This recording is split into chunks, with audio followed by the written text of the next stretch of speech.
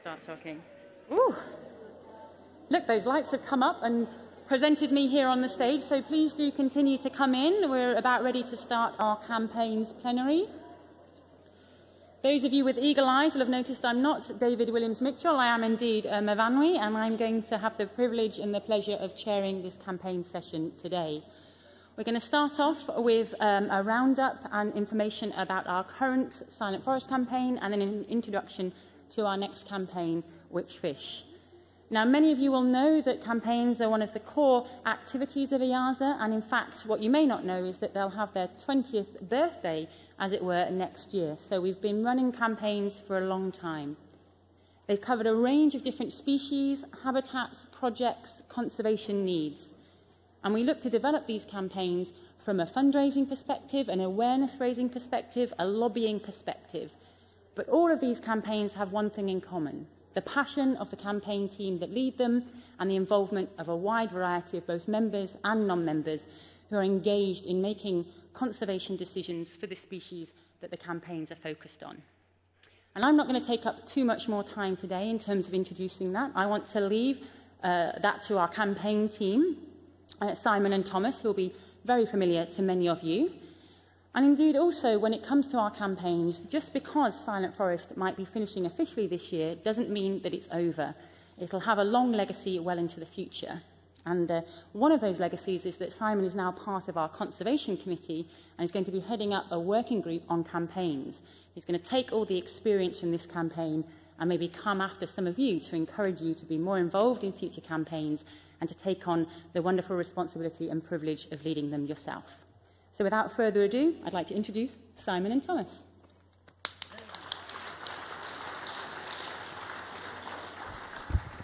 Hello. Hello. Thomas, what are you wearing there? Um, I was last year. Some of you remember we were wearing costumes, which we're not wearing, obviously, today. And I was asked if I'm wearing my mother's or grandmother's pajama, which definitely it is not. Uh, because the campaign projects take place mostly in Indonesia, we would like to appreciate the Indonesian traditional formal costume, which is this beautiful wax-made Javanese batik. So, let's get on with it. We have a, a campaign to report on. And of course, it's about birds. And um, we have these songbirds disappearing throughout Asia.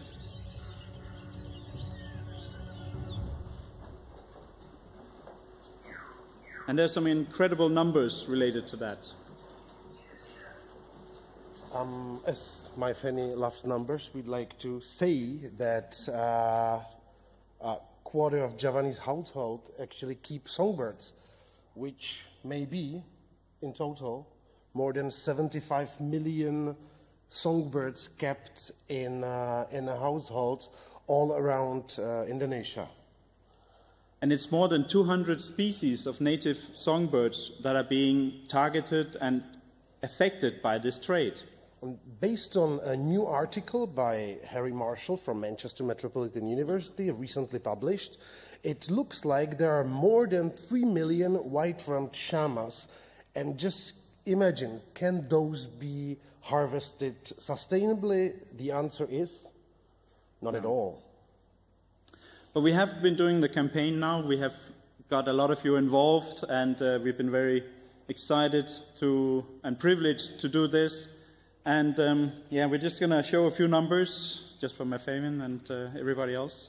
And the thing was, we, we had kind of, uh, kind of a contest that if we reach over a million, we're gonna do a big thing. But uh, if we reached over a hundred, uh, half of a million, we're going to perform a little bird dance. So here we there go. go. Uh...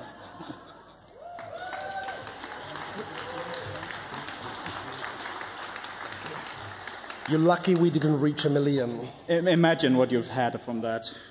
But it is amazing. We have to mention that maybe the original targets we had was uh, 250,000 when Thomas and me wrote the proposal, and then the EAZA office get back, no, you need to be more ambitious. Take 400,000. And we're like, oh no, it's never going to happen. But um, Currently, it looks like we have more than half a million secured. Of course, a lot of this funding is pledged money, so we don't have them cash on uh, our bank accounts yet.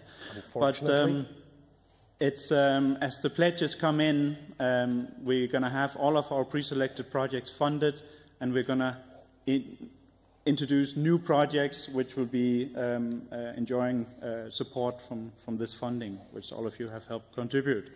Second very important number is that uh, 192 EAZA members participated in the campaign, which is fantastic. Our, our goal was 175, but these are only EAZA members, so we have 243 today, including non-EAZA members. And this is all all uh, types of uh, organizations that are NGOs that are um, some of them are corporate members. Most of them are zoos, but also aquariums have really supported the campaign in a, in a great way. We had the target to produce 10 best practice guidelines. That was sort of our thing, and we were completely underestimated the work that's into that. So we only achieved half of that. We have five best practice hot guidelines for songbirds, which are just about to be finished or is already published. But as a, as a small um, um, excuse for that, we actually managed to um, publish a regional collection plan for Asian songbirds. And one long term management plan was uh, carried through, at least the, the meetings, and about to be written up. And we have new EEPs, and none of that was in our, our plans and hopes for the two years campaign period. And what's even more amazing, a new IUCN specialist groups got established. This was something we were dreaming about within the Patrimony tag for a long time, but it actually happened, and it's not just a, an effort, of course, of the campaign, but the campaign momentum helped this happen. And overall, we think there's a 100% increase in uh, institutions' interest in songbirds, so we're very excited about that. Yoo-hoo. But of course, there's still problems. We cannot, if we just look at the numbers in the wild, we cannot just say that this campaign has been a success. Birds continue to be threatened, and unfortunately, um, some of them, like these colored laughing thrushes from Vietnam, they come from southern Vietnam. They're endemic to a very small range, and the only reliable places to find these are within protected areas. These birds are not so far from here. They're in a pet shop in Portugal, so you can buy them. And that's um, unfortunate. We, we're pretty sure that these birds have been robbed out of national parks. They have been brought out of Vietnam illegally. People there do get arrested and put uh, and sentenced for these crimes. And birds are coming out in, in this way, and they're actually coming into Europe as well. And we're concerned about this because we don't want accidentally to be a bigger part of the problem than the solution. And risking that people or colleagues who might not be exclusive um, a bird curator, but actually ending up seeing nice birds being offered, and there was a campaign about these Asian birds. Let's buy two of them. So we made this um, position statement, which have been adapted by EAZA uh, on songbird trafficking. And it's one of the aims of this position statement is, of course, clearly to communicate that we do not want to support this by, by buying such birds. And this position statement helps some of the work. We can be taken to Brussels. It can be shown that we're doing things. And it's even been led into an IUCN uh, motion on action against songbird trafficking, which is, uh, I think, brilliant. And uh, finally, in the last uh, COP meeting, there was also um, some pushing for more attention on songbirds within CITES.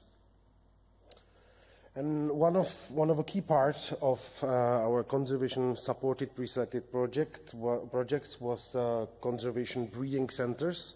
There were three of them out of six projects, one in Nias, second in Java, third in, third in Sumatra.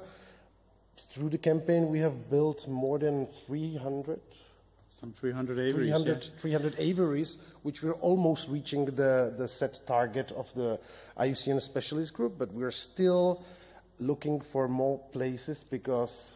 Yeah, there's of, of all the species affected by the trade, there's more than a dozen where we believe that the time is running out to a point that other measures like um, public education or, or protection in the wild will not take effect in time to save those species.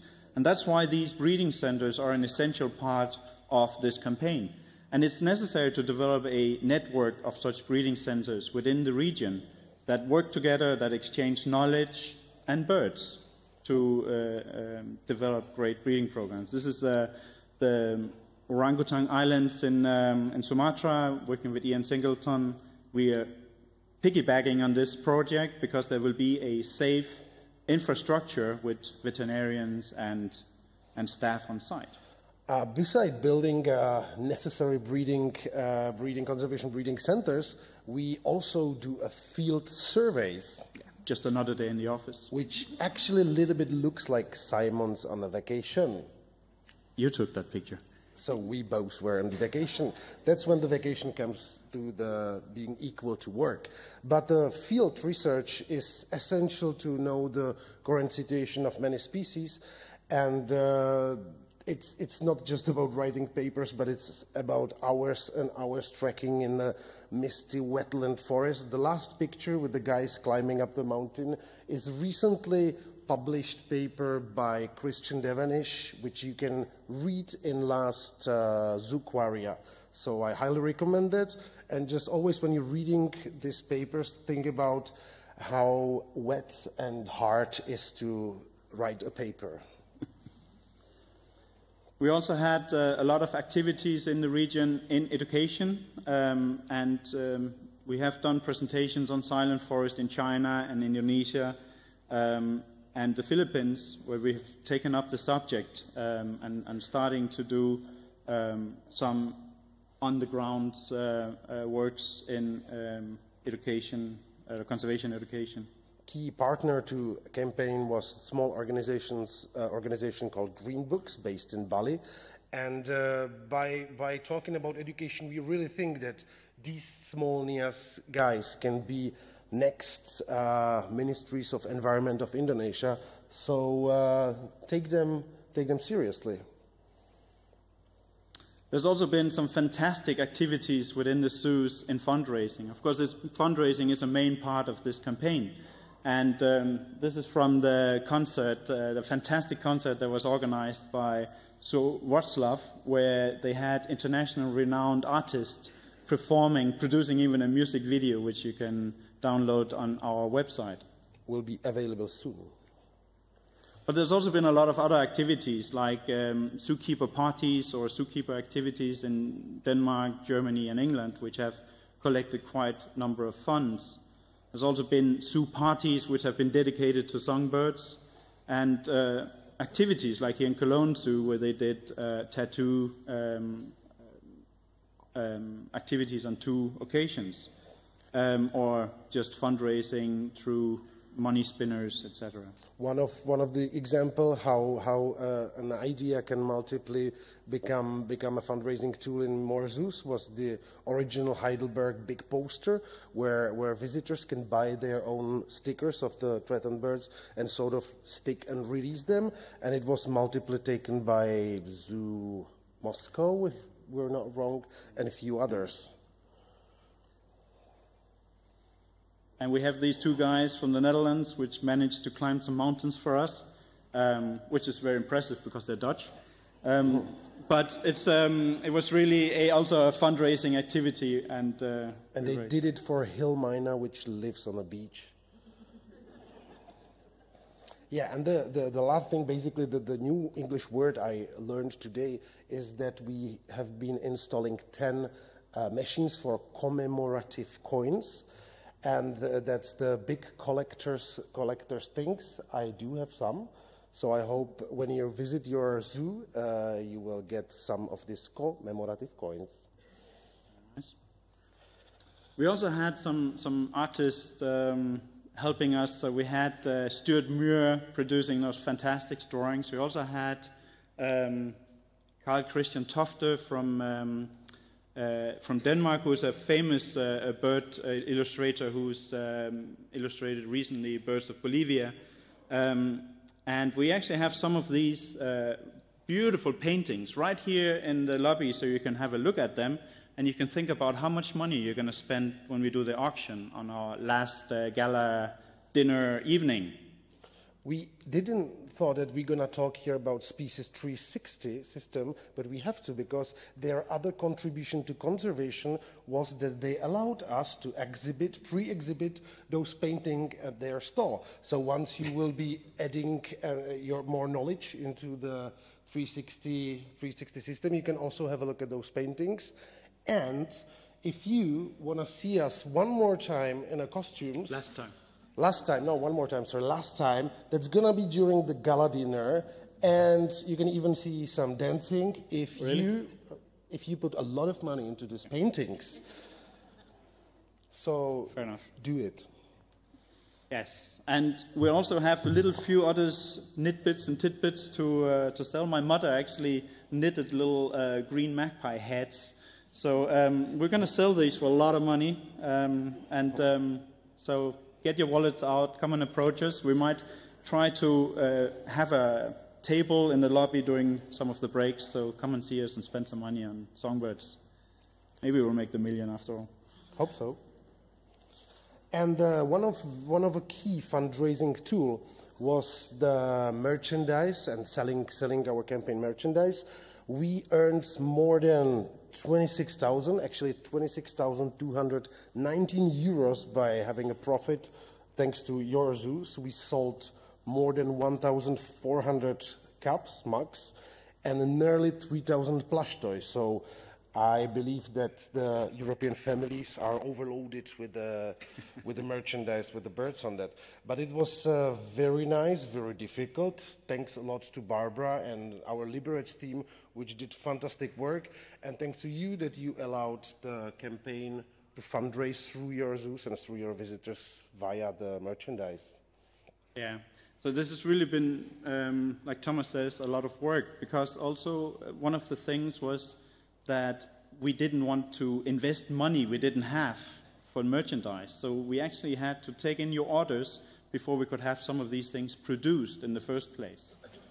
And it was quite often like, I'd like to have two cups, but then we can ship only hundreds. So really it was, uh, and I, I, hope that the fish people will experience some of these, uh, some of these exciting moments.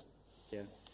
The, another, another key thing, which I have mentioned, was the cooperation with the Green Books organization, and we got this brilliant idea, which was actually actually based on the original campaign where people were collecting used mobile phones instead of uh, recycle the coltans. So we said, hey, let's collect the binoculars. It was a great idea at the beginning. First 100 binoculars came to my office in Prague. So I we packed it and we sent it to Indonesia, but it came back because actually used binoculars are considered as a military equipment which you simply cannot send to Indonesia.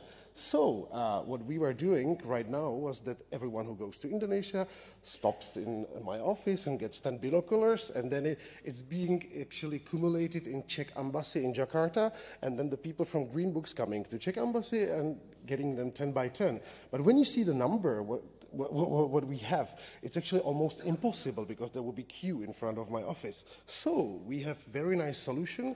In three weeks, there is a diplomatic visit of Ministry of Foreign Affairs of Indonesia and Czech Republic, and I already talked to a vice, a vice minister of uh, of agriculture of uh, environment in Czech Republic, and I asked them if we can donate to a ministry 1,000 binoculars. So she will bring it with her in a, in a Indonesian plane, national plane.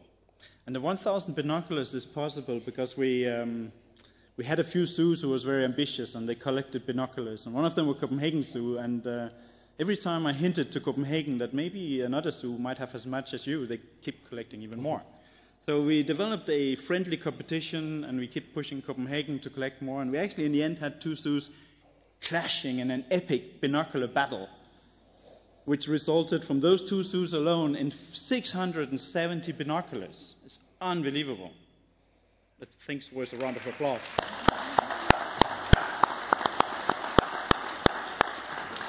And here, of course, a special thank you to Eddie from Copenhagen and Sandra from Düsseldorf, who made this possible, who was game to, to take this challenge on. And actually, the, just one remark that at the beginning we really saw that we're gonna set up only children birdwatchers club, but we cannot see the adults how they want to see the birds in the wild through the binocular. So even even some adults became a part of the of the binocular contest. Yeah. There's also been, like in every EAZA campaign, uh, conservation um, is, is the, the, the, aim, but to, to achieve it, education and awareness is one of the most important tools. And um, I think personally that um, the education part of the campaign is really what gives us the, the, credibility we need to ask people to give us their money to send to projects. So the education part, even though it's often for kids, it's enormously important to showcase what zoos do in a bigger picture. And there's been so many activities, and it's just impossible to show all of them here. And some of them have been really amazing. And um, there was going to be a presentation in the uh, education um, committee meeting later, so have a look at that and see some of the amazing activities. And we hope that we set up and even increase the standard for, uh, for another campaign, and there will be even more and more educational activities and it doesn't have to be expensive, and, and it doesn't have to be complicated. Like cheap solutions are sometimes the most fun. Also, in sense of uh, activities with birds in European zoos, there's been an, a great increase of activities for songbirds. Um, not only the best practice guidelines, which are now available and have a high standard, but also, and, and these best practice guidelines are extremely valuable when we work with these birds in region, when we work with partners there we can produce, uh, uh, share these documents one to one and have them even help developing them. So we really have guidelines that are not only useful in European zoos, but are useful in the conservation breeding programs on site. We also had this um, new style um, uh, regional collection planning session, which I think still stands at a record with 145 species um, of vertebrates that was uh, evaluated in two days in Budapest last year in May. Um, so we published a um, um, Passeriformes taxon, um, uh, or um, what do you call it, an, an, Asian songbird regional collection plan, which is a, like a supplement to the regional collection plan we have, but is in the new integrated style. And of course, breeding activities are ongoing in European zoos, and um, some of the core species like the Javan green magpie and the Sumatran laughing thrush uh, EPs are now established. It's also been very important, especially in the last six months, for us to establish how the campaign is going to continue in the future. And we have, to the one side, of course, the EAZA Passeriformes tag, which is the, the, the tag which has sort of had the working group of which the whole idea of developing this campaign came out of. And then we have the Asian songbird trade specialist groups, which have developed in the last year or so. And with those two entities um, in mind, and especially under the EAZA Passeriformes tag, we're going to develop the Silent Forest logo and the Silent Forest name into the new EAZA trade working group. But it was big bit tricky because we started recently receiving emails whether we can offer some birds because people misunderstood that Songbird Trade Working Group is not selling birds, but in order to make it clear for everyone, we have decided to change the name into the EAZA Songbird Conservation Working Group, which should be clear for everyone right now. I hope so. In, in any way, this, this working group will continue working on the Asian songbird crisis, um, but it might evolve um, further in the future um, naturally to embrace other regions of songbirds in, in trouble or other conservation issues, of course. And right now, it's probably the best time to appreciate the organizations, EAZA members, who have donated the the, the, the, biggest sum of the money. So uh, we had this silver, golden, and platinum certificate, yeah. and we would like to use the opportunity to invite representative. That's too early. We, so, we just need to yeah. mention that everybody's going to get a certificate, oh, you yeah. know, but only when the money is in, of course. So when you send in your money, you get a certificate, and, and the sum you have pledged or the sum of money you do uh, send in. And we have um, we already have some platinum donors. And that's, of course, not those who pledged that platinum, that's those who actually send in more than 10,000 euros already. And that's a, a quite amazing uh, group of zoos uh, or organizations who helped us a lot. And that's um, right there, almost 200,000 euros for conservation. So right now is my.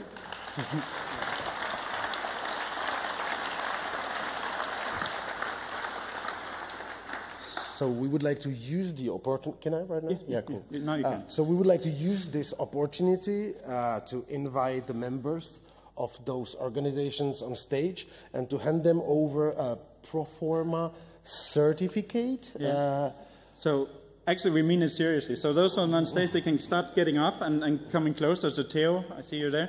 Yeah. Everybody like Cologne Zoo, Zoo Liberec, Sea Gap, Chester Zoo, Leipzig Zoo, Opel Zoo. Heidelberg Zoo, You're pronouncing the Germans one, right? Copenhagen Zoo. Zoom Erlebniswelt, Gelsenkirchen, Yeah, that was what I meant. Uh, Zoo Berlin, uh, the Foundation Segre, uh, Zoo Marlow. and Zoo Basel. So, Please come on stage. Please, everybody, give them a huge applause. so who is the Sure. Okay.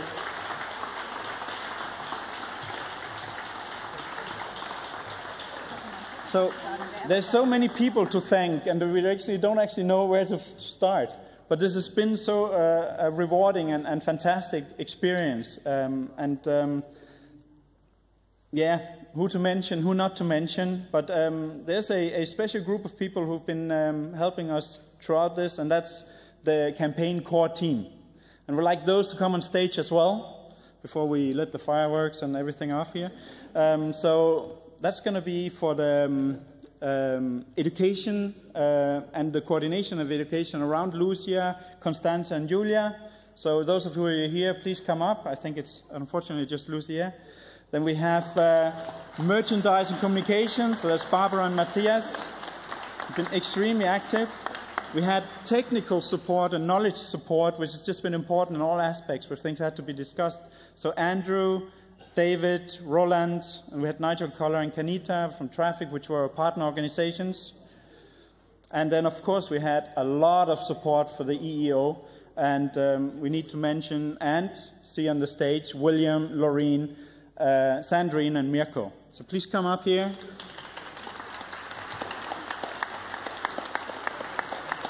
And for these guys, we have a, a special personalized gift. Um, and actually, we just want to say thank you. And, um, and I'm going to split this. And the costumes you, you see when you go to the gala dinner and you have your wallet ready, then we'll talk about costumes. All right. So um, these are the guys who made the campaign possible and the protection and support for the songbirds. So we hope you can beat that fish. Go songbirds. Go on, songbirds. Thank you. Thank you very much.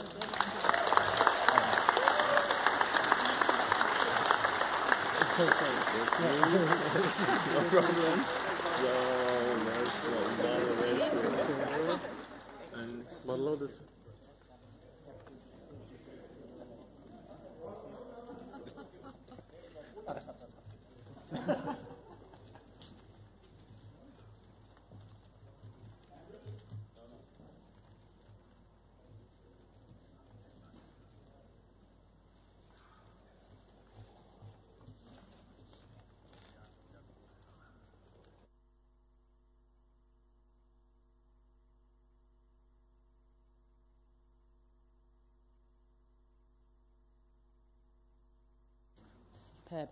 And actually, I realised that Thomas and Simon thanked everybody apart from themselves. So I would actually like to call for another round of applause for being such great campaign leaders.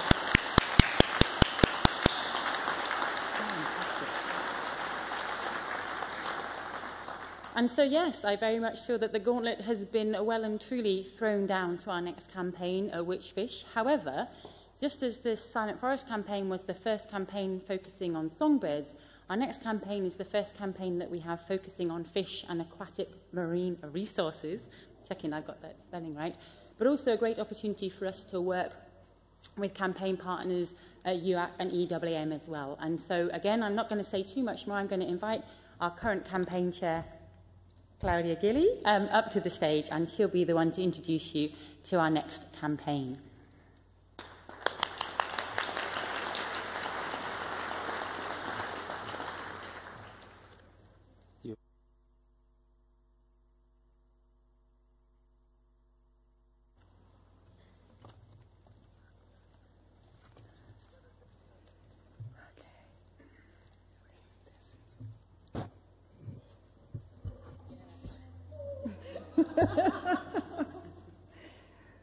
so, and a bit of water as well. So, thank you very much for introduction. And uh, I'm glad to present you this campaign. It was born from, it was uh, proposed by the TAG together with members of the Education Committee and with uh, Laura Meyers from the office. And we had a, a, lot of work in trying to make a presentation and a proposal that would fit the needs and the purpose of these campaigns uh, to be applied with, uh, on uh, aquatic uh, species. Next. Ah, okay. Why this campaign? This campaign is because we really need to mitigate the threats to the aquatic fauna caused by indiscriminate fishing. And in general, these are data that we are collecting from uh, uh, FAO report, and this is the FAO report from 2018. And basically, so that you have some numbers, we all work with numbers. We're talking about 90 million tons of fish that is being uh, captured is the orange line uh, every year in the waters worldwide. The green or uh, blue, the blue part is the aquaculture sources. Most of it is coming, is uh, being dedicated to algal uh, aquaculture, but still a lot of the fish aquaculture is being uh, fed with the fish meal that is coming from uh, fish resources. This is a slide showing uh, world fish utilization and apparent consumption.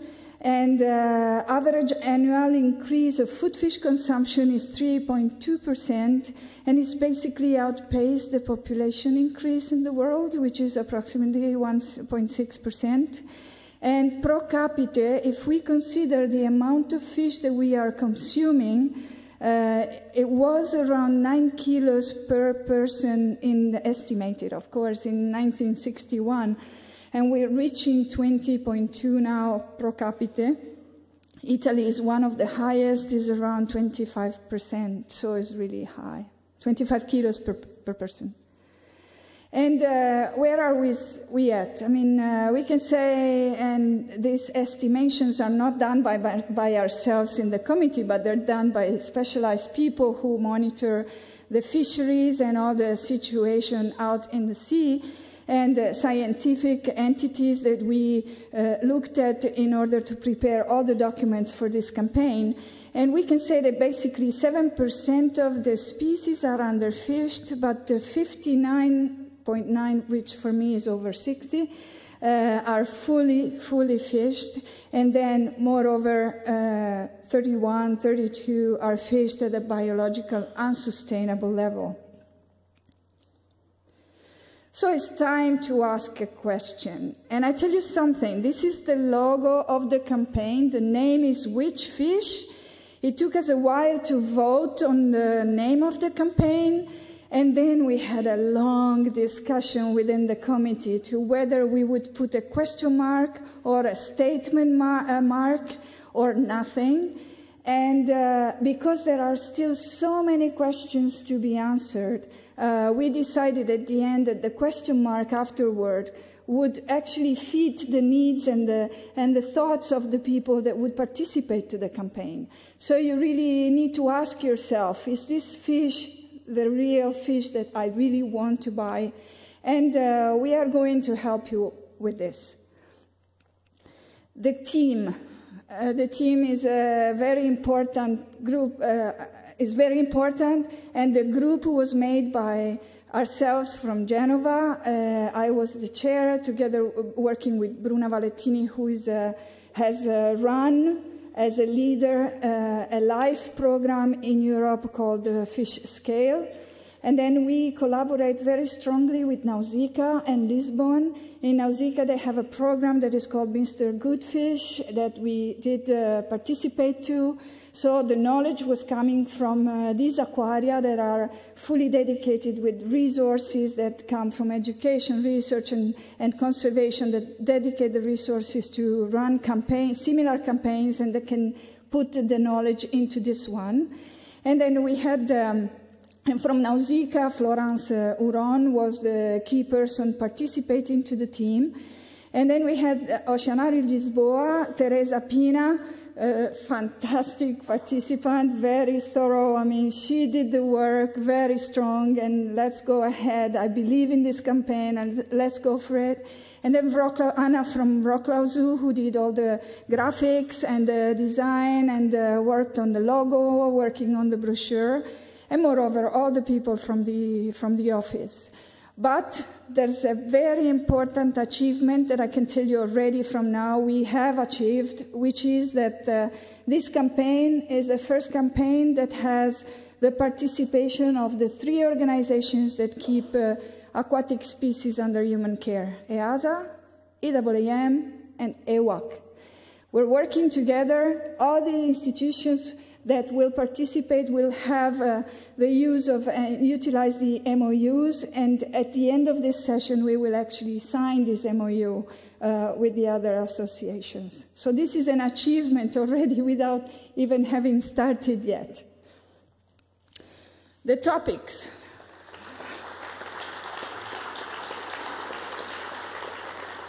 Thank you, thank you.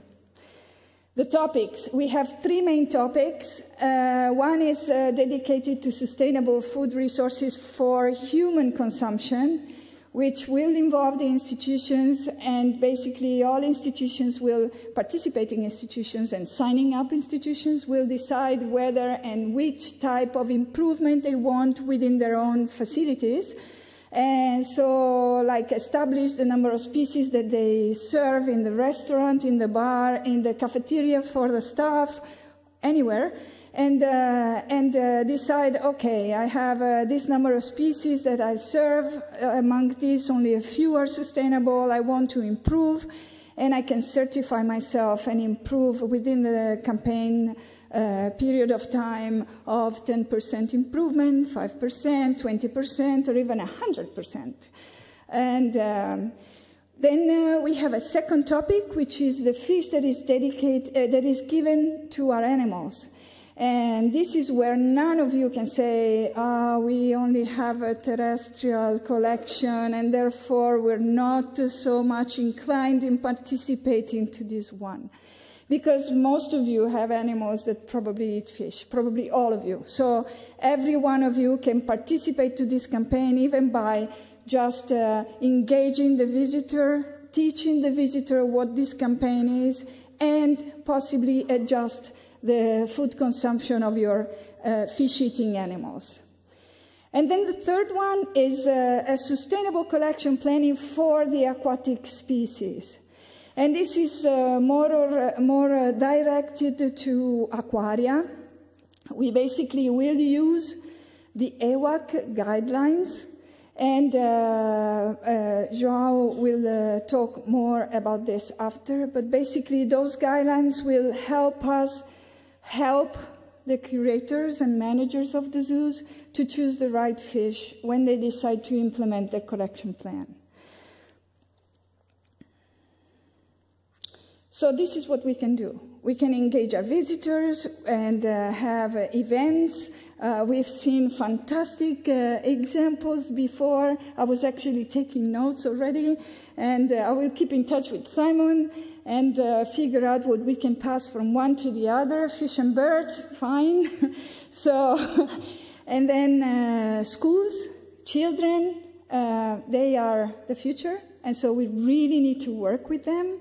And uh, the, the power that zoos and aquaria have is basically empowering uh, the, the, young people And uh, sometimes I discover that when I speak about this, they know already much more than we do, but they need answers. So, so we, we should find these answers and make sure that, uh, that we can give them some. And then, as I said, the, the public, the curators, the zoological uh, managers and directors is like a personal engagement. I want to make a change. I can do it now. Let's go for it. Tools. I have uh, some gadgets here. We just made some uh, mock-ups uh, of uh, rulers and uh, t-shirts and uh, hats, mugs, and bags. There's a bag here, and things that you can use for for your um, for um, engaging the visitors and use for the dissemination activities. We have a website ready, and we will use the website uh, not only to tell you stories, provide recipes, uh, tell uh, what happens to certain species, but you also will find uh, fact sheets on certain species that can be eaten and can be taken. And uh, there's a decision process here that is very important. We decided to involve only species that are in the green list as to avoid any discussion with the stakeholders. So you will not find any list of red or yellow species, only green list. And when you will participate and open the fact sheet, you will see that there are not so many. So that's something that really will make you think. And then um, we have a lot of other stuff information brochure, banners, uh, merchandise. So you really can participate and have all the tools that you need and the, and the questions answered. Fundraising, how? How, like uh, every other previous campaign? I mean, we can do inside uh, the institution with the tools that we are talking about, and we can do outside with Facebook, with the website, with newsletter. The committee members have committed to an appointment uh, to prepare the newsletter, four newsletters per year during the duration of the campaign. And then uh, why, why? Why are we collecting money? Because we are identifying projects for each of the three issues. And uh, at the moment, uh, we will be working with uh, EUAC and EAAM to consolidate these projects, which are basically dedicated to human consumption, animal consumption, and uh, animal uh, being raised in facilities. So at the moment we have uh one big project ongoing on alternative food for, uh, for aquaculture species and looking at uh, algae, looking at insects, looking at jellyfish, looking at all sorts of things. And in situ elasmobranch conservation project, this is going to be involving the FAITAG very strongly. Um, and then uh, another idea that came from the curator, the Association of uh, French Curators of Aquaria, was to organize group of uh, of training to uh, go aquaria by aquaria around Europe and uh, basically uh, create core groups of people that can work on breeding captive fish. And um, how much? The target is the same as, as the previous campaign. So platinum, gold, silver, and let's see if we can go over platinum this time. I don't know. I don't know. We will see. Uh, we also decided to try to evaluate the participation to the campaign because this can make a change. And uh, I committed myself to do this, uh, to try to uh, get results from you. Uh, and what does this mean? This means that all the participant institutions will basically fill in a questionnaire before and after, and we will try to give numbers. And these numbers can go, they can be the numbers that we can use when we lobby, when we go out and uh, talk to the public, when we go to Brussels and say what is the importance of facilities like ours, we have numbers that we can produce. So this is a questionnaire, is absolute, everything is absolutely volunteer, as in any other campaign, but it really goes to the soul, so you really need to think about it and probably think that the participation is, uh, is, uh, is, the, mom- is the right moment to go for this. So why should we work on this because overfishing is a problem for every one of us. There's not one person in the room that doesn't get touched by this problem. And zoo and aquaria really have an important role of empower, empowering the visitors and teach people and tell people to ask questions when they go to the market to look at the label and say, uh, where was this fish caught? First of all, which fish is this? Sometimes you see the fish, there's a scribble on the, on the label, you don't even know what species that is, and it might be the most endangered species. Uh, so understand what you're buying, understand what you're doing, and, and possibly go towards the right direction. Uh, the subscription will be uh, through the website, and you can see the address here. And uh, all the information can go to can be received by info.whichfish.eu. And now I really want to thank uh, the members of the, of the committee. And uh, my day today is my last day as a chair because I'll be leaving Acquario di Genova and I'll be working in Naples from the 1st of October onwards. And so I, um, I leave the position of chair, and the chairing of the campaign will be done by Bruna Valettini from Genova and Florence Huron from Nausicaa. I think they're very experienced people, and they will do a fantastic work. I will be sitting in the committee from outside, and probably one of the first dots to put in the, in the map. The Naples Aquarium will probably stay there already from next week.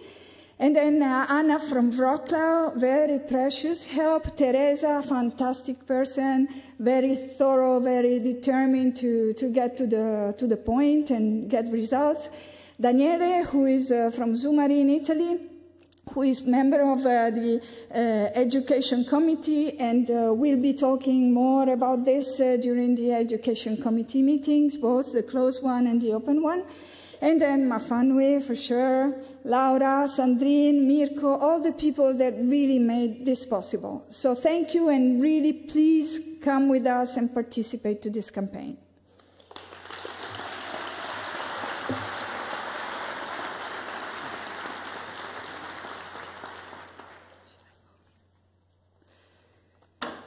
And now, without further ado, I would really like to introduce my my speakers, our speakers, the invited speakers, each one uh, for uh, a different topic. And unfortunately, Javier Almunia was supposed to be here as well, but he had a personal event and he, he wasn't able to come. So uh, the first speaker is uh, Philippe Vallette from Nausicaa. Philippe Vallette is the general manager of Nausicaa, and Nausicaa is the Centre de la Mer in uh, France and is also chair of the committee of the International Aquarium Network. He will be speaking about not only about Nausicaa, but also about the experience they have with the sustainable uh, campaigns uh, like this one, and mainly uh, Mr. Goodfish. Thank you. Welcome.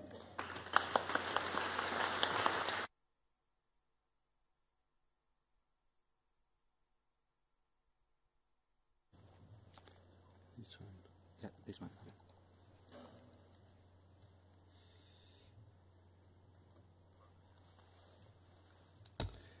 Thank you. Thank you, uh, Claudia, for the fantastic uh, work you did. Um, so, um, I'm going to, to, well, allow me first two slides of advertising. So Nausicaa is a national sea center uh, in the north of France, in Boulogne-sur-Mer. We have opened in uh, 1991. We have had uh, already uh, more than uh, 17 million visitors, and we have opened last year a new uh, expansion on the high seas. we are also a center of excellence of the IOC of UNESCO. Our missions is very um, concentrated on the link between human being and the ocean. We, uh, our mission is really to inspire people to discover and love the sea which is essential part of life, as you know, and a valuable resource both today and in the future. Raising public awareness on the need for better sustainable use of the ocean, offering a new perspective and solutions for the future of mankind from the ocean, and offering people a chance to participate, act, react, and express themselves. So we have many uh, activities. Uh, there, there, are a few one. Uh, conservations. We promote what we call the blue society, uh, which is blue economy but uh, appropriated by the, the, general public, so by the consumers. Uh, of course. we are involved in many European projects.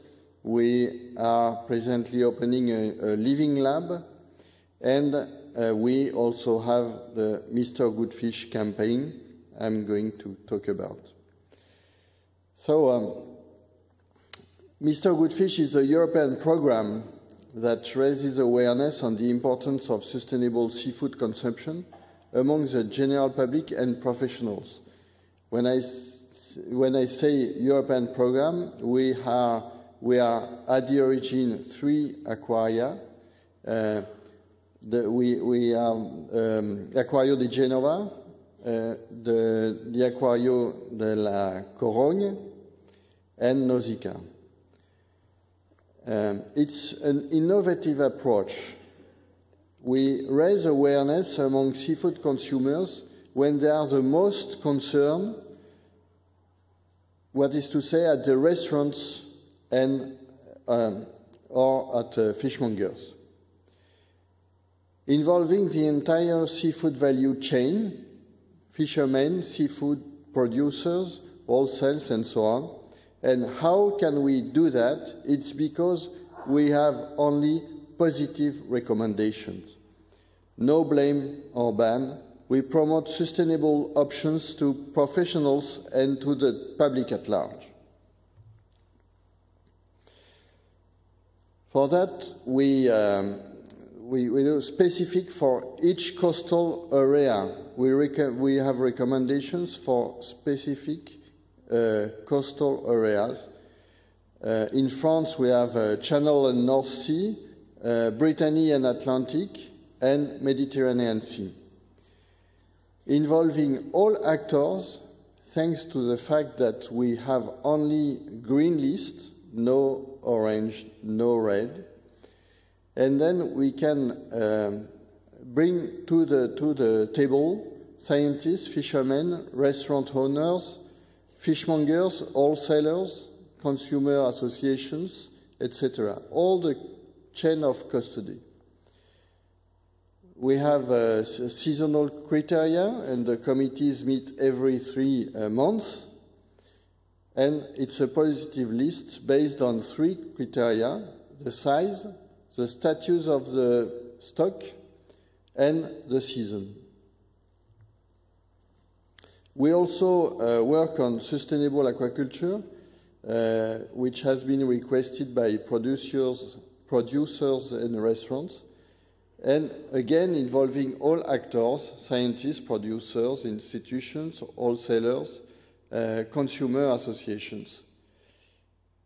There is a committee meeting every year and we have criteria developed with a committee of experts. Identification of sustainability indicators in aquaculture. In aquaculture. So why is it our role to do so?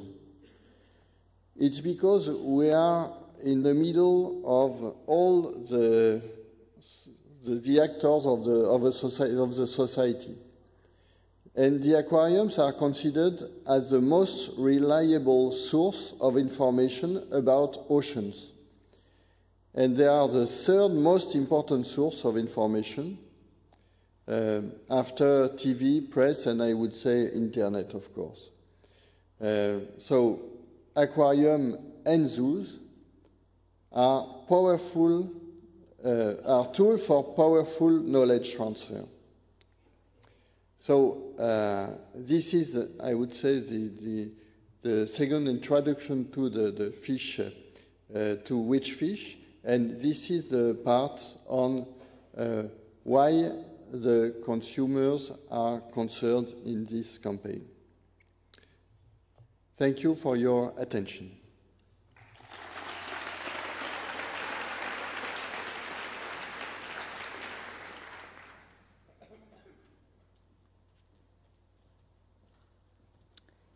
Our uh, next speaker, Stéphane Hénard, the General Curator of Nausicaa. He will be speaking about uh, um, their methodology of feeding animal in feeding their fish uh, with a in a sustainable way. This presentation was supposed to be shared with Javier Almunia, who would be the representative of EAAM. He's the president, current president of EAAM, and he would have sp- spoken about the uh, marine mammal part, which is uh, representing a lot, many, many tons of fish uh, fed to the marine animals. But unfortunately, he could not come, so Stéphane will make sure that the message goes through for any type of species. Welcome.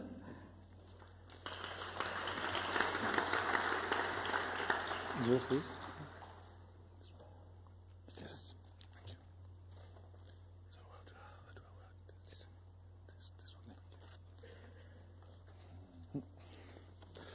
Good afternoon, everybody. Um, merci beaucoup, Claudia.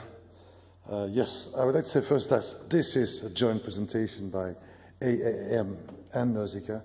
As uh, Javier is not there with us today, let me introduce you to AAM for those who don't know.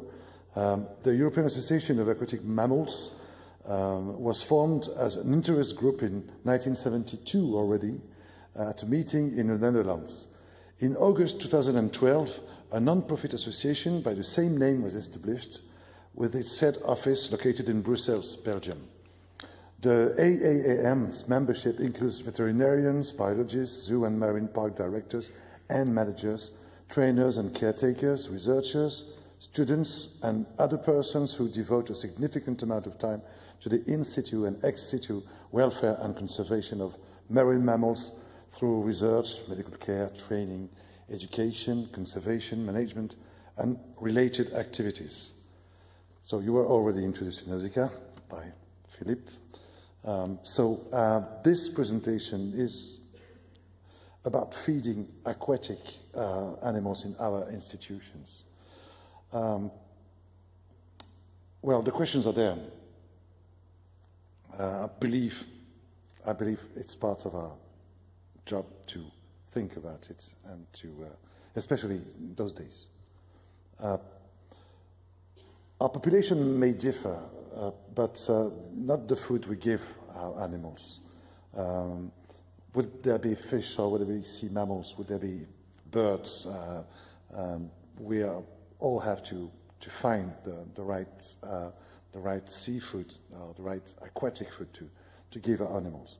Um, the questions are always the same. We, are looking for the most palatable foods to make sure the animal eats, uh, to the, the, the, food that has the right profile in terms of, for example, uh, uh, fatty acids, um, to, to make sure that uh, the vitamins are included um, and, uh, and the animals have the proper diet to, diet to, to, to grow and become mature and breed and, and breed properly.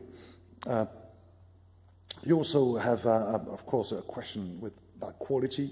Uh, we need to make sure that uh, this food that comes from the wild bushmeat uh, is, uh, is not full of parasites or uh, full of um, um uh, Vibrionaceae, which is very common bacterial found in aquatic food. so that's, it has to do with hygiene, the way we prepare it. It comes deep frozen, for example. How do we thaw it? How do we, how do we make sure that no propagation or contamination was achieved during the process? And today, especially, there's a public image uh, that is attached to that. This is a question from our audiences, all, all our audiences, visitors, journalists, um, teachers, they, they question. So, um, um, well, I'm very happy. We are very happy that, uh, that uh, this is a joint uh, uh process that links EAZA, that links uh, AAM, and that links also EUAC, because we're all concerned. Um, as I said about the public image, we're in a world that it is changing. So, a societal change, especially. Um, so some questions do raise. Uh, it is written, but no need to say that we want the best for, for the animals we hold. Uh, we want also to, to be able to tell nice stories to our visitors, stories that we can be proud of um, on the subject. And if we can do that, it's even better. It's even better. So um, let's focus on three questions, maybe only three questions. Um, I believe that uh, I believe that uh, we all one day had those questions in mind. Uh, what is the best to our animals? If you consider, for example, um, do, will they do better if we give them the best food for, like we do for us, um, like some cat food adverts we can see on TV? Do we need to give uh, fish fillets to, uh, to our animals uh, when they used to eat uh, heads and bones? Um, that's the question.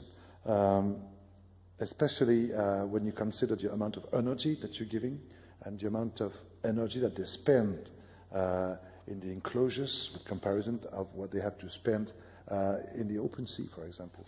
And they don't have to avoid uh, uh, predators in, in, our enclosures as they have to do. Or they don't have to spend energy to hunt all day long uh, for some species when they're starving.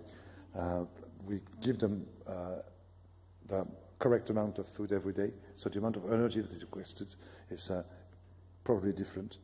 Um, also, we live in an era of food waste. Uh, I'll just give you a feature for French population, French, French citizenship. We believe that 20 kilos of food are wasted every, every year by, by each French citizen. Can be less or more in other countries in Europe, but it's close to that. So uh, uh, when we feed our animals, do we um, sorry, uh, when we feed our animals, do, do, we fight against, do we ignore, or do we participate to the global food waste? That's um, some question that needs to be addressed.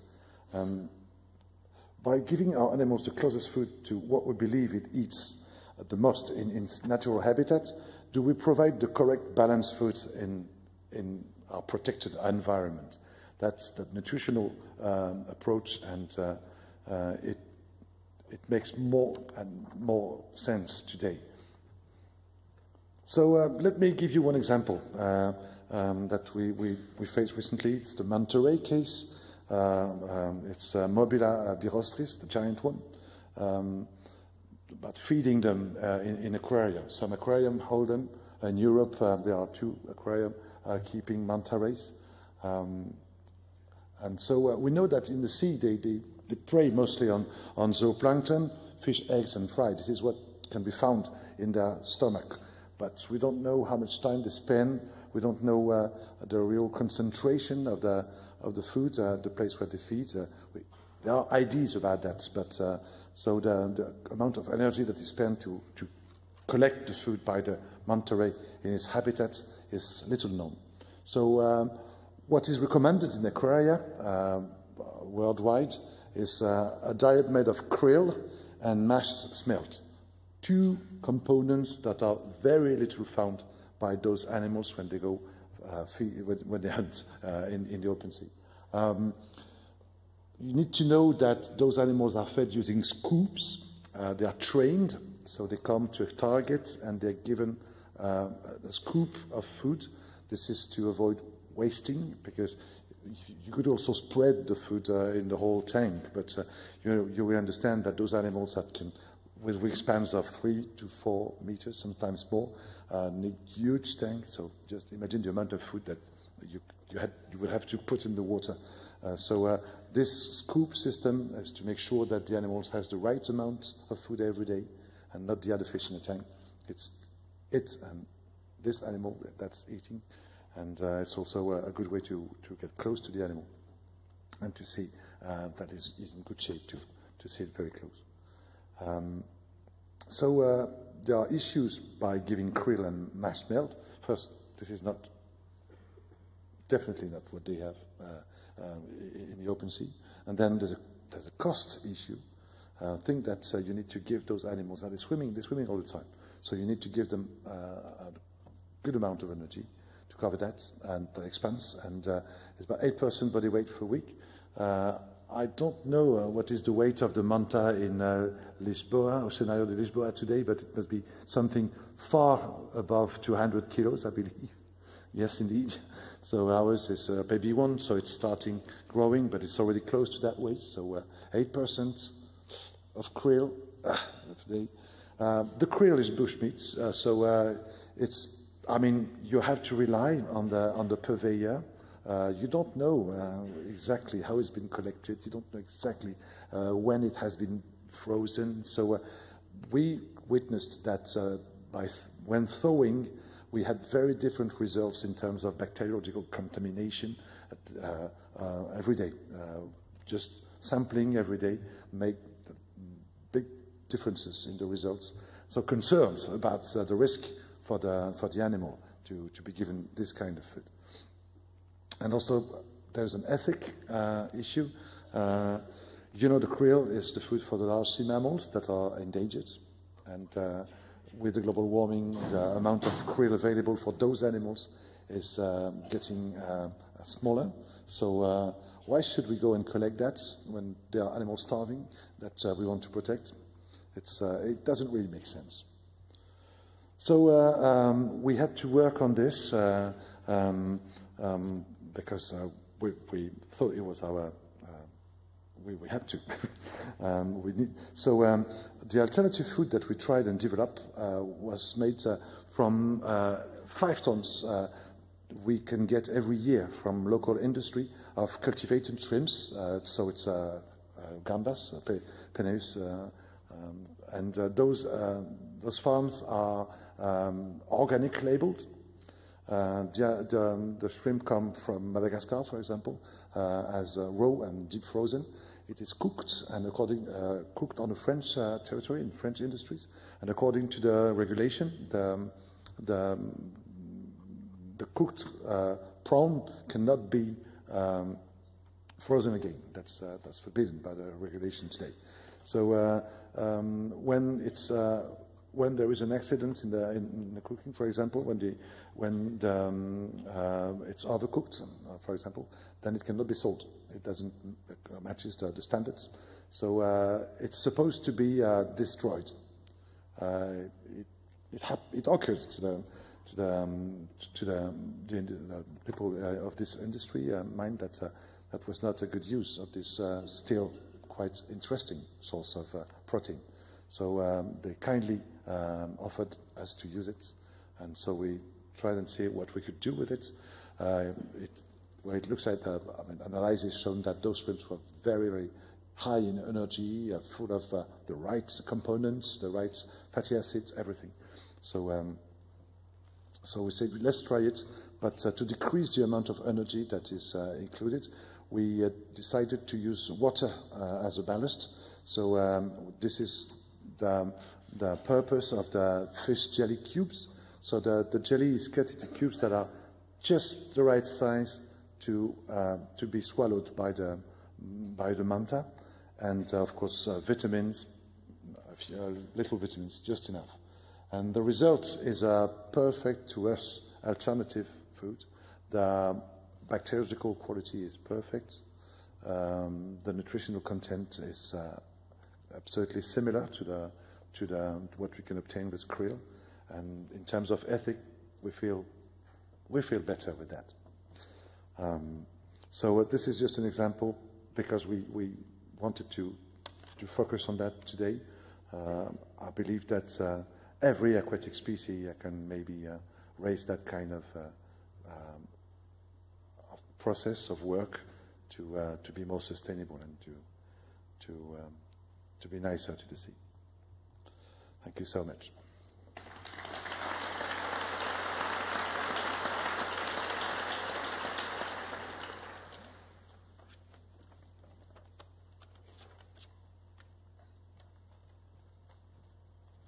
Thank you, Stéphane. And it was his first uh, conf- EAZA conference, actually. So, welcome to EAZA.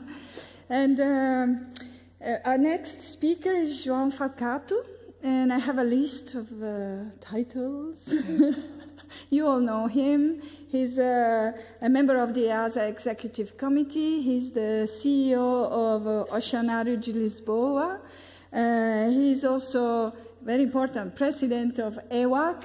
But the most important thing, he was my trainee. Welcome. This is, uh, yes, that's it. Well, my, my role here will be to speak a little bit about the fish that we have in our collections and that we exhibit and that we use as, as communication tools to engage our public. And I imagine most of you, I can't really see you, okay. Uh, most of you come from zoos, and there, in my opinion, there are two main big differences when we're talking about the fish and when we're talking about land animals. First, most of the fish that we exhibit, they are foods for somebody, which is completely different. You must be aware that we eat the tigers of the ocean. That's actually the ones we really like because they are carnivorous and the flesh is really good and we eat them. And every choice we make in the fish we will eat, it's actually a conservation action. I have to say, I come from the country that it's 56 kilograms per capita per year, 30 in the world. So the average is 20, we eat 56.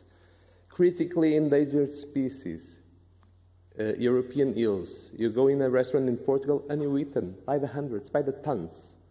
So if, if you finally get with the supermarket and they stop selling these threatened species, that's probably the biggest uh, conservation impact I as an aquarium can have. Although in nature I have a lot of work, if I work with the consumption of fish, you can really have an impact. The second very different thing is most of the fish we exhibit, we have no idea how to breed them and raise them. It's not us, it's science that doesn't know it. And it's not because we don't want it. Because most of these fish are multi million euro business. Bluefin tuna, for example. Millions and millions and millions and millions of euros went into trying to breed and, and, and produce them. We don't know how to do it.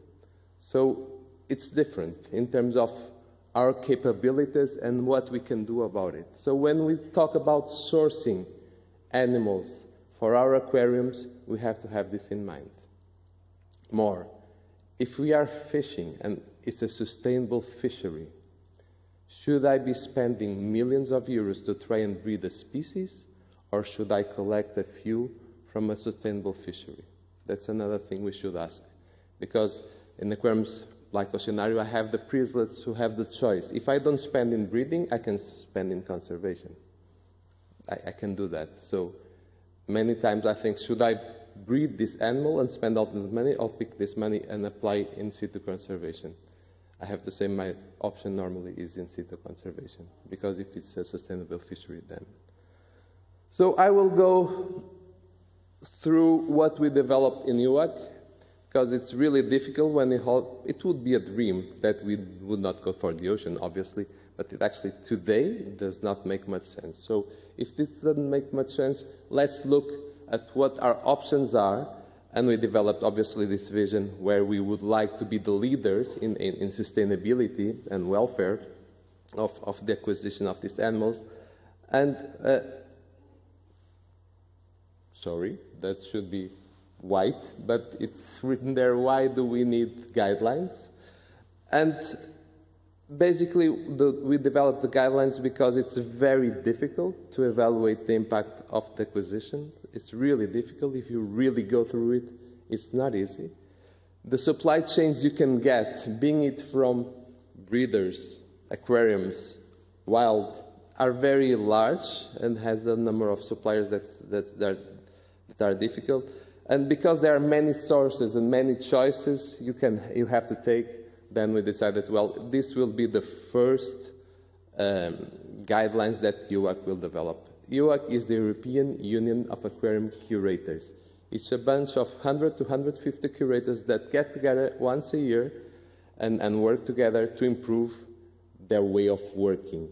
It's not EAZA for sure. We don't have many documents and, and, and the amazing work of guidelines is not something we do, but we felt we were the ones that probably had most expertise in relation to the acquisition of these animals, so we decided, well, let's do this one.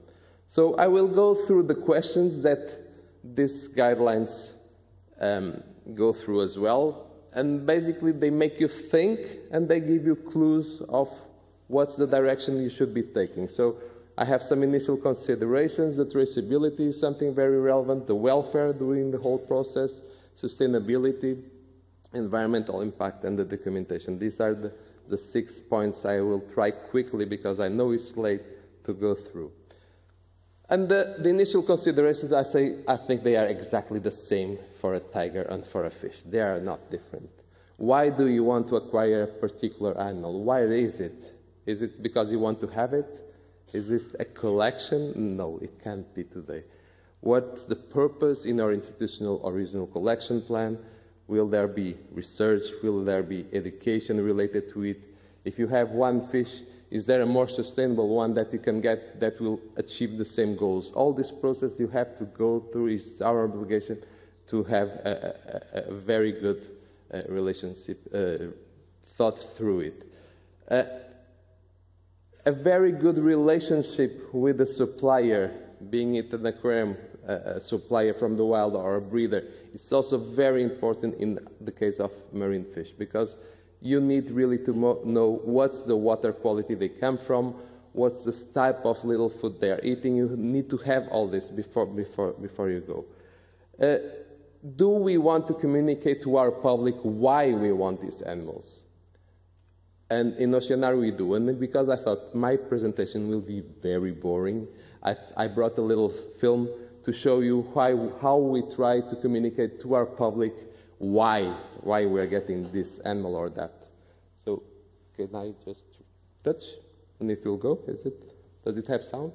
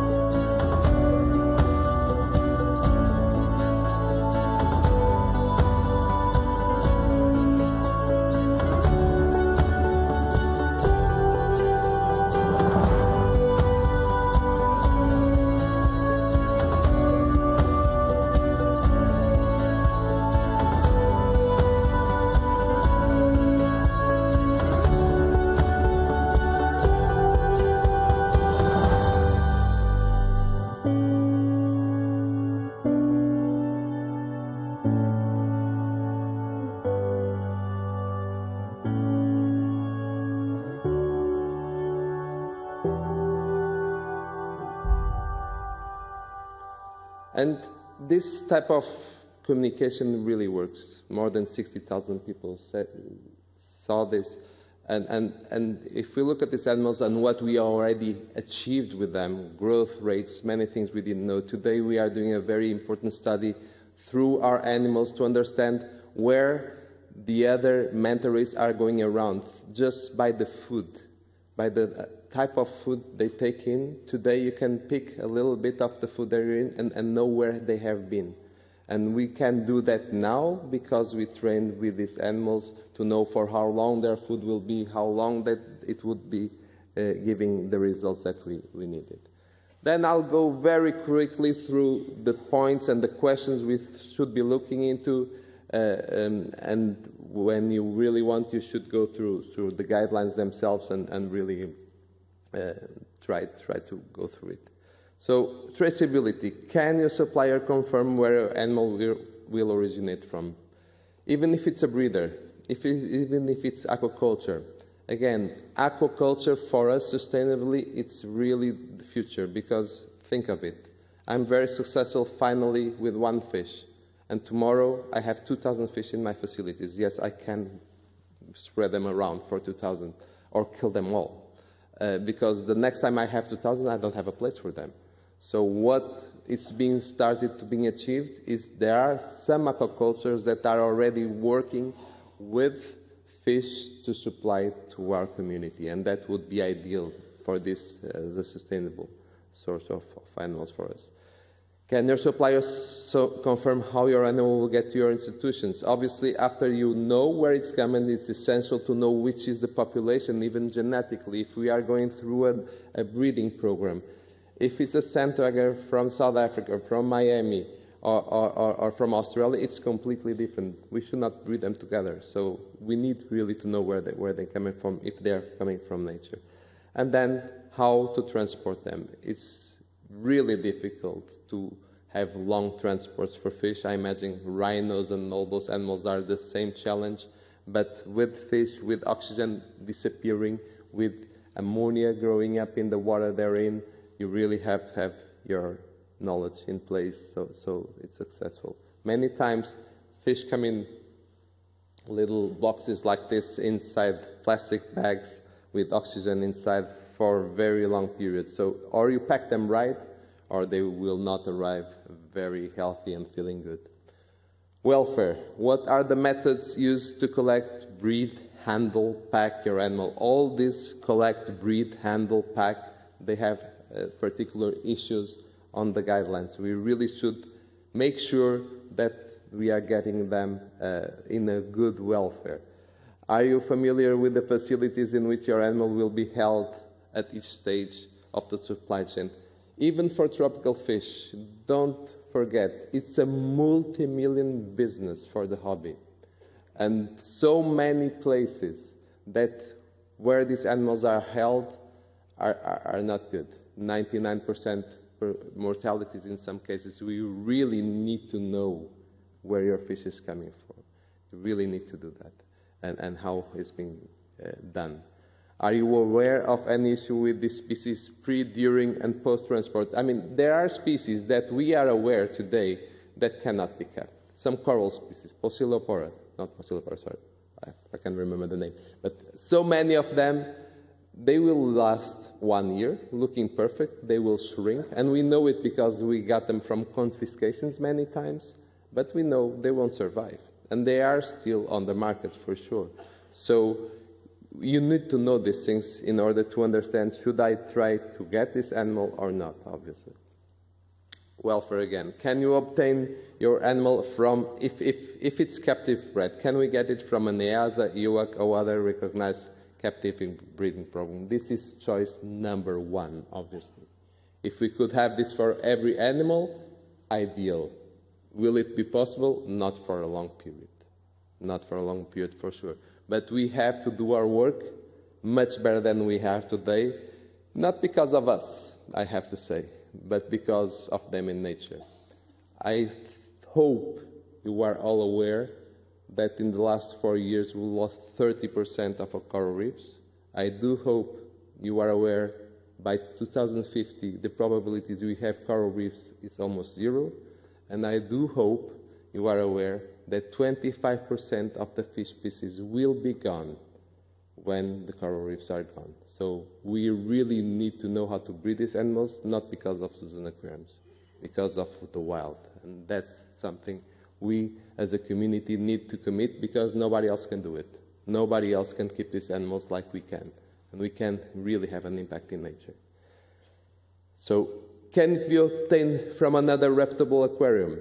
And reputable aquariums, I, need, I mean, like in zoos, there are the good ones and there are the not so good ones. So, really, it's not just an aquarium, it needs to be a good one. If you cannot source your animal from recognized captive breeding program, or another public aquarium, can it be sourced through a reptile breeder? This is probably, I would say, the future. This is probably the future where there will be aquacultures supplying the species we would like, the species we would like to have to have the education impact we really have. For example, this is a, a zebra shark that came from the deep, bred. And, but these are, that have one or two pups every year, they're easy for us. They're not very difficult. The ones that have millions, that's, that's the challenge. Corals, for, for, for you to be aware, corals are not a challenge as well. We know how to breed them in every way. It's the fish, the fish that we cannot do it. We don't collect corals from the wild for many, many years. Sustainability. Are there any initiatives your sourcing choice can support to help promote sustainable fish collection? Is your animal from a managed regulated fishery and are there data available to support it? Because this is where your choice comes into place. When you have the choice of going uh, in the wild or start a program to try and breed it, see if it makes sense to spend their resources and where. Are there any conservation concerns with this species?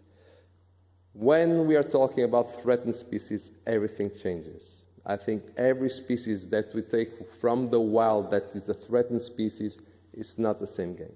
We really should be trying to breed them. We really should have something contributing to nature if we want to have that species. It's really different game when it's a threatened species and not.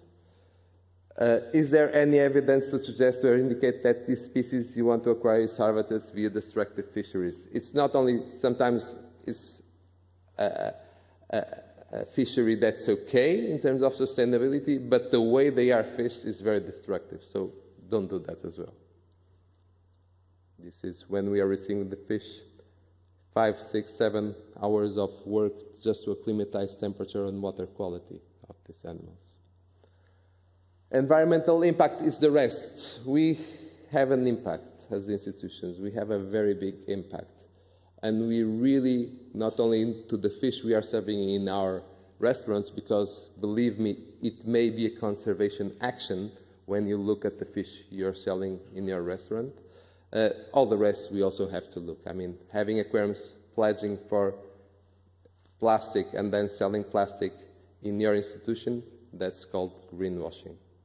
So be careful because everybody is looking for greenwashing today. We have to walk our talk if we want to have a bright future. Have you considered the carbon footprint in relation to your annual acquisition? And this is worth, obviously, for fish and for rhinos. Is there a better option in terms of carbon footprint when, when we are transporting them? Does your supplier engage in any research or project that have conservation outputs? There are, thank God, many very good suppliers in the fish world, and every time you buy a fish, a percentage of your money will actually go to the conservation of that species. They actually have impact in nature as well. Does your facility engage in any education, research, or projects that have a positive influence on your chosen species? This is going back to the first question I made. Finally, documentation. Obviously, uh, when in our case, we are sourcing from nature, we source from many countries, and the laws are very different in many countries. So you really have to look into the specific things of each country. A high level aquarium being caught doing an illegal acquisition is something that cannot really happen. We really need to be very strict with this when, when we are doing it. And can your supplier provide many documents, all the documents you need to support this. This is a big question. And this was what I would like to talk to you. Uh, to finalize, I would like really for you to think a little bit of, of this, because the way we use our fish is, yes, we are investing so much money into conservation projects in situ, and probably we are having a very ne negative impact in other species in our own home. The amount of fish we give our fish to, to, to eat, if it's not from a sustainable source, and believe me, some of them are becoming more and more difficult. The fish you use for your birds, it's becoming very tough for you to have sustainable fish to feed your birds because they're gone. The ocean is not uh, and in resources. And it's our responsibility. If you want to save that bird, please don't kill the fish in order to do that. Thank you very much.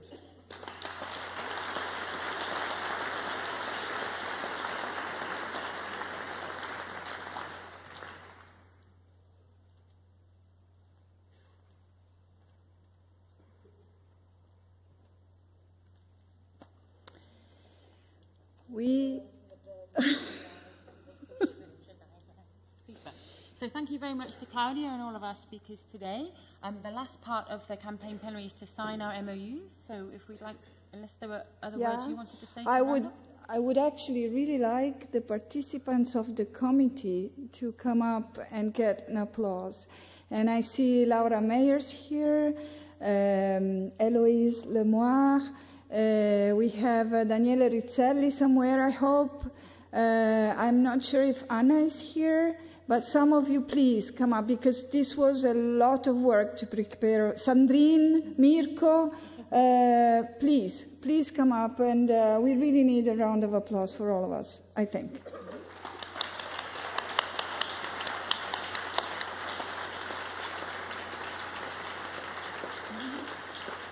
And then we want a picture with all of them. Do you need to go over here for your picture? Let's go. Am I fine with Yeah, yeah, I'll come across.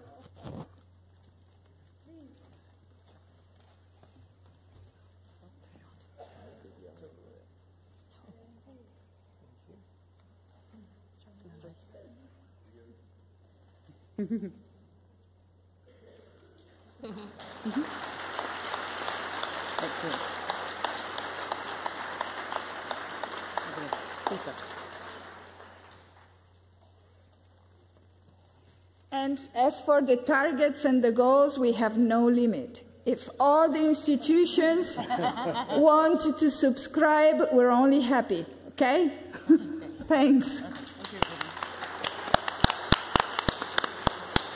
Super. Fabulous. Yes, so we'll, if we just encourage uh, Thomas to come up to the stage, and then Thomas and João can sign the MOU between EAZA and EUAC, and that will finalise the endpoint to this plenary.